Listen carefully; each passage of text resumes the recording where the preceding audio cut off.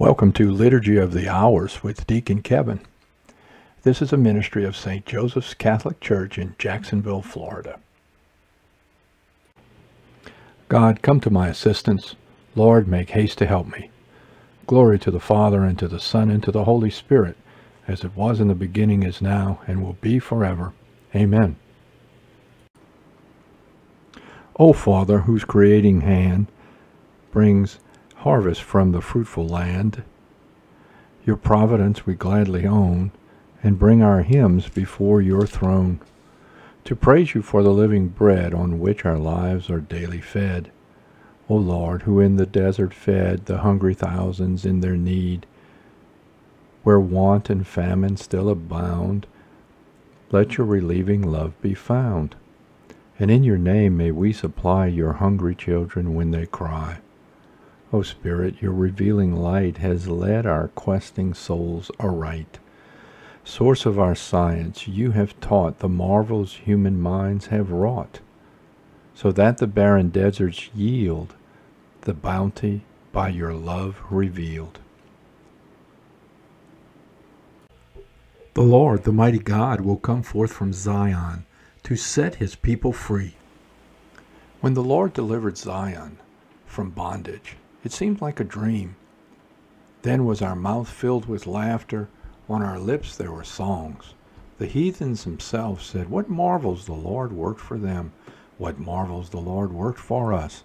Indeed, we were glad.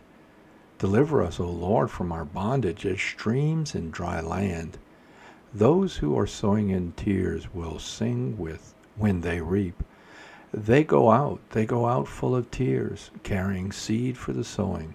They come back. They come back full of song, carrying their sheaves. Glory to the Father, and to the Son, and to the Holy Spirit, as it was in the beginning, is now, and will be forever. Amen. Lord, you have raised us from the earth. May you let the seeds of justice, which we have sown in tears, grow and increase in your sight. May we reap and enjoy the harvest we hope for patiently. The Lord, the mighty God, will come forth from Zion to set his people free. I shall not cease to plead with God for Zion until he sends his Holy One in all his radiant beauty. If the Lord does not build the house, in vain does its builders labor. If the Lord does not watch over the city, in vain does the watchman keep vigil. In vain is your earlier rising, your going later to rest, you who toil for the bread you eat when he pours gifts on his beloved while they slumber.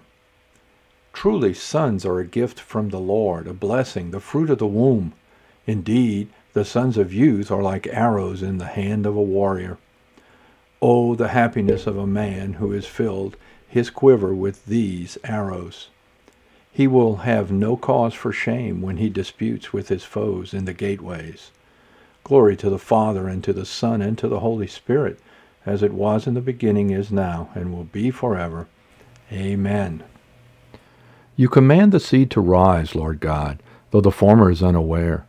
Grant that those who labor for you may trust not in their own work, but in your help, remembering that the land is brought to flower not with human tears, but with those of your Son. May the church rely only upon your gifts. I shall not cease to plead with God for Zion until he sends his Holy One in all his radiant beauty. The Spirit of the Lord rest upon me. He has sent me to preach his joyful message to the poor. Let us give thanks to the Lord for having made you worthy to share the lot of the saints in light. He rescued us from the power of darkness and brought us into the kingdom of his beloved Son. Through him we have redemption, the forgiveness of our sins. He is the image of the invisible God, the firstborn of all creatures. In him everything in heaven and on earth was created, things visible and invisible. We were created through him. All were created for him. He is before all else that is. In him everything continues in being. It is he who is head of the body, the church, he who is the beginning, the firstborn of the dead, so that primacy may be his in everything. It pleased God to make absolute fullness reside in him and, by means of him, to reconcile everything in his person, both on earth and in the heavens, making peace through the blood of his cross. Glory to the Father, and to the Son, and to the Holy Spirit, as it was in the beginning, is now, and will be forever. Amen. The Spirit of the Lord rest upon me. He has sent me to preach his joyful message to the poor. A reading from 1 Corinthians chapter 1. We await the revelation of our Lord Jesus Christ, who will strengthen us to the end, so that we will be blameless on the day of our Lord Jesus Christ. God is faithful, and it was He who called us to fellowship with His Son. Come and set us free, Lord God of power and might. Come and set us free, Lord God of power and might. Let your face shine upon us, and we shall be saved. Lord God of power and might. Glory to the Father, and to the Son, and to the Holy Spirit. Come and set us free, Lord God of power and might.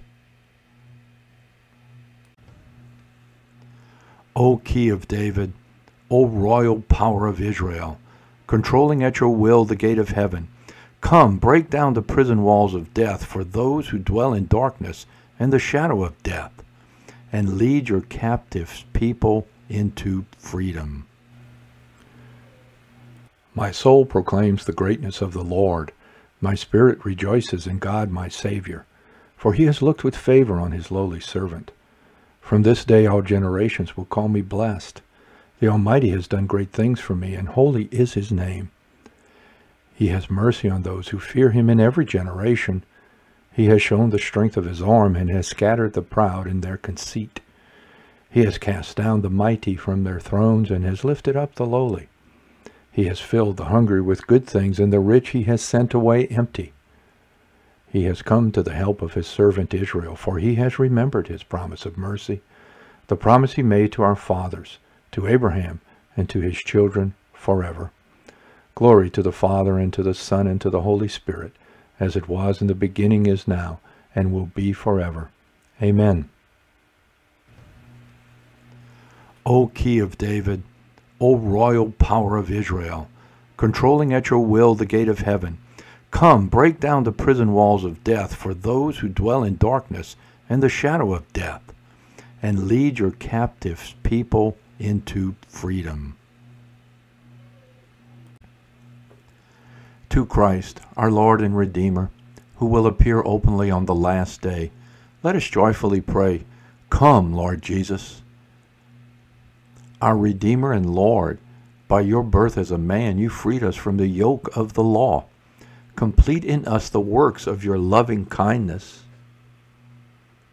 From us you took whatever served your divinity. Give us whatever we need to serve you.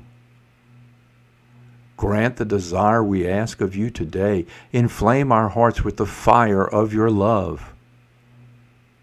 On earth we live with you by faith in glory may we rejoice with you. Steep the souls of the faithful departed in the dew of your loving kindness. Let us again offer our praise to God and pray in the words of Christ. Our Father who art in heaven, hallowed be thy name. Thy kingdom come, thy will be done on earth as it is in heaven. Give us this day our daily bread, and forgive us our trespasses, as we forgive those who trespass against us.